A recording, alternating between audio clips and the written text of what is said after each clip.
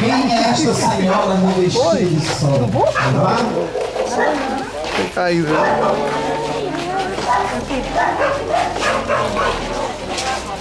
Thank.